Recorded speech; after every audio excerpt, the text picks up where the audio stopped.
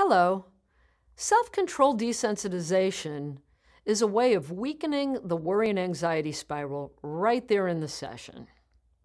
The way that this is done is that the client gets very relaxed, signals the moment they feel even less relaxed, and then a variety of relaxation strategies are used to help the client catch that anxiety several times in one session, thereby weakening the habit right there in the session.